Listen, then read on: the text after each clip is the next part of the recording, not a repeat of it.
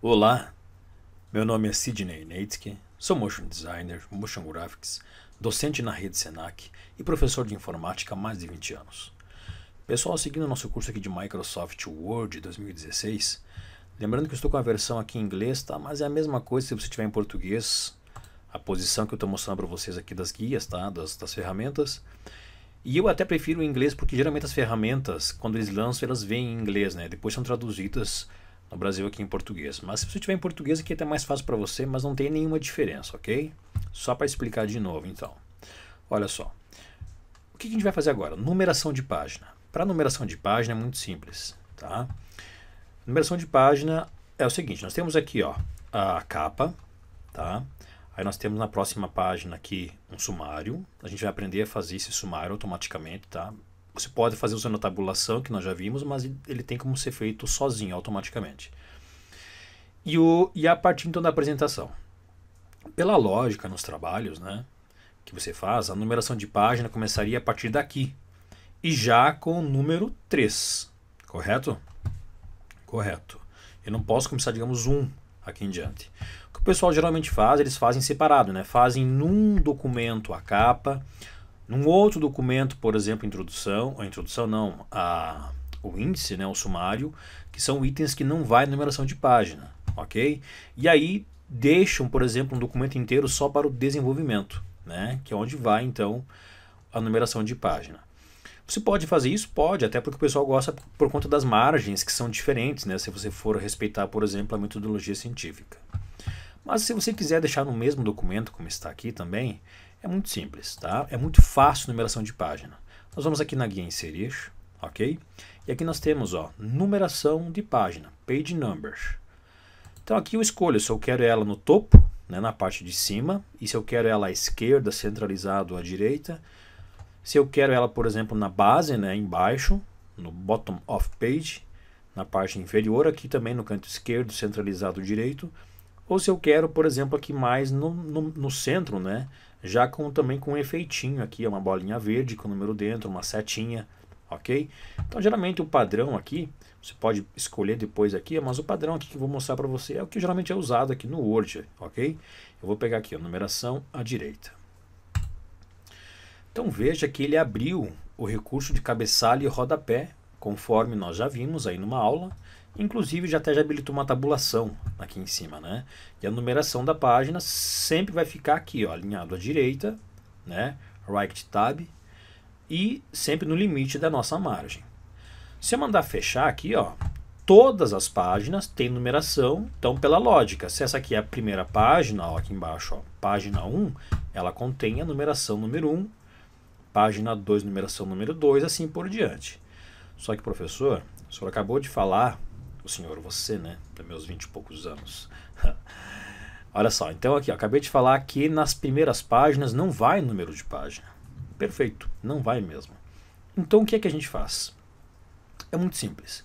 Por exemplo, a partir da página 2 eu não quero que tenha numeração de página, tá? Não quero. Então eu venho aqui assim na página 2 e aqui na nossa guia layout eu tenho aqui, ó, e vou inserir uma quebra aqui, ó. Essa quebra aqui tá? Que a gente chama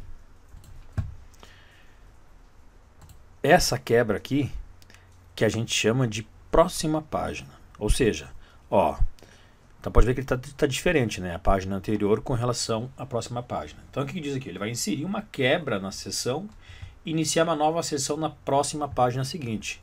Ou seja, ó, o que, que ele fez? Então a, ele dividiu. É como se daqui para cima fosse um outro documento e daqui para baixo fosse um outro documento. Então são dois documentos diferentes dentro do mesmo documento, tá? É, em tese, né? É lógico que é só um documento, mas em tese então eu separei. Então o que, que eu faço agora? Eu vou dar dois cliques aqui, ó, nesse número 3, que é a minha página 13, ele abriu o cabeçalho e rodapé. E agora eu preciso, pessoal, fazer o seguinte, ó. Eu preciso vir aqui assim, Aqui na, na minha guia design que está aberto, eu preciso desabilitar isso aqui, ó, vincular ao anterior, link to previous, tá? Beleza, então ele desvinculou o anterior, ou seja, ele não está mais vinculado, então realmente está separado. E agora então eu posso vir aqui assim, apagar a página 2, apagar a página 1, que até já foi embora, tá? E aí está, ó. Perfeito, posso fechar. Então aqui, ó. Capa sem numeração, sumário sem numeração e a partir daqui. O que, o que tá? Só isso. Então vejam que é um processo bem simples, né? O que alguns, o que alguns alunos fazem quando chegam nas aulas de Office, do, do aula de Microsoft Office há 21 anos, tá? Do Microsoft Word, o que o pessoal faz é aqui, ó. Tá? Expectativa diferente na primeira página, ou seja, a primeira página não vai ter, se você marcar isso aqui, mas a página 2 já vai ter. Aí ele vai começar a partir da 2 em diante, tá? Como assim, professor? Não entendi. Eu vou explicar para você. Eu vou apagar isso aqui. Então, se eu vier aqui assim, ó, na página 1 e mandar então inserir número de página, tá? Ó, aqui de novo à direita. Se eu colocar isso aqui, ó, ó veja que a página 1 não tem. Então, digamos, não tem, mas a página 2 já vai ter. Ele já começa na 2 é diferente daquele processo que a gente fez a recém. Aquele processo lá, digamos, tu pode começar lá da página 10 e eliminar todas as páginas anteriores. Aqui não, aqui é só a primeira, tá? Então esses são os recursos mais utilizados dentro aqui da numeração de página. Nós também temos aqui dif uh, diferenças das, das páginas, né? Aqui, ó, diferentes em páginas pares e ímpares. Se você habilitar isso aqui, deixa eu tirar aqui, ó, digamos que começou na página 1 e eu habilitei isso aqui, então vai ter página 1, Aí na página 2 não vai ter, aí vai ter a página... Ah, eu quebrei aqui a numeração de página. E aqui eu, eu tenho dois documentos separados, tá? Mas eu, deixa eu voltar aqui tudo. Ctrl Z, Ctrl Z, Ctrl Z, Ctrl Z. Isto. Ok, pessoal? Então aqui, ó. Ah, eu voltei um pouquinho no Ctrl Z para poder desfazer aqui, para a gente poder começar de novo, porque eu tinha eu havia separado os documentos, tá? Então, uma forma aqui rápida para você entender. Então, aqui na guia inserir numeração de página, tá? Então, digamos que à direita. Uma das formas mais comuns, então, como nós vimos a recém, isso aqui, onde nós podemos, então, tirar da primeira página, ele começa da segunda em diante. Ou aqui, ó, diferente em páginas pares e páginas ímpares. Se eu comecei na página 1, então ele vai pular a página 2, vai para a página 3, vai pular a página 4, vai mostrar a página 5. Então, digamos assim, besteira, né? Não tem, tem por que você fazer isso, ok? O modo mais usado dos cliques aqui, ó, deixa eu desabilitar isso aqui. O modo mais utilizado realmente é isso aqui, ó, onde então você vem aqui, a partir daqui eu não quero numeração de página. Página 2 eu não quero, então vem aqui no layout, vamos inserir uma quebra para a próxima página, ok? Eu venho aqui, abro e eu mando tirar esse link do previews, ou seja, vincular ao anterior. Então ele separou os dois documentos, esse documento das duas páginas de cima, e agora nas páginas de cima eu posso tirar a numeração de página.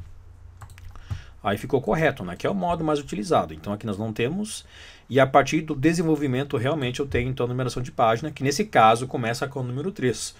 Poderia começar com o número 5, 7, 8, enfim, de onde você quiser. Sem contar que tu pode selecionar, colocar tamanho da letra, cor da letra, fazer o que você quiser. Colocar ali o que você quiser. Certo, pessoal? Então é isso aí. Pratiquem bastante. Fiquem comigo. Grande abraço. Tchau, tchau.